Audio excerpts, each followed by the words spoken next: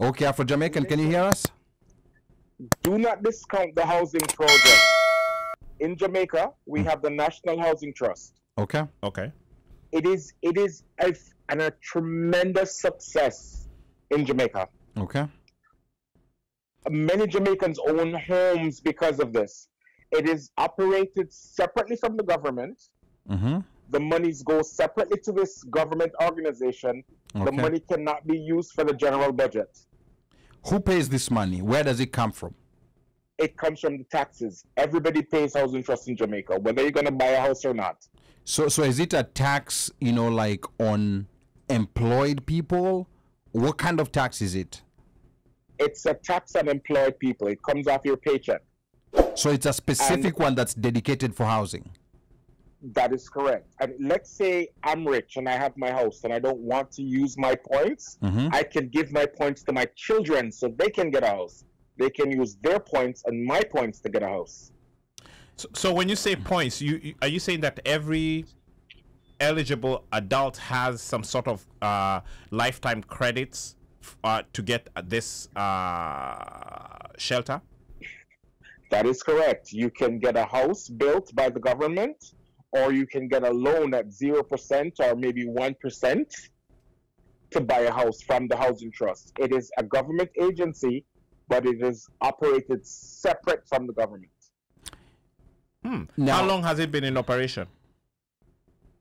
I am, what, 50? I'm born and it was already there. Okay. So, so. Afro Jamaican, here's an interesting thing. I think we need to learn more about that Jamaican model. I'm gonna go start do some reading about it.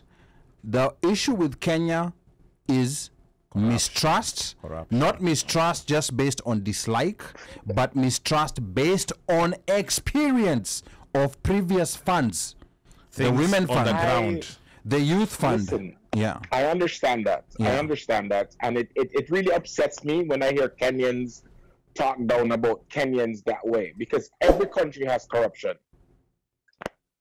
I, I At some point, Mhm. at some point, we've had we have to believe in our institutions. And if we hire the right people to run these institutions, I think it will be successful. I, I totally agree with you, um, Afro Jamaican. I, I agree with you, but where we are now, and and and unfortunate, it's so hard for us to undo our that mentality, and we are working on ourselves, and we are outside. I can only imagine those who are inside who uh, have Yeah. to pay it. But I think maybe even when uh, what was it, NSSF and NHIF, when that Yes. Mm-hmm. started, I'm sure the skepticism was the same, was there.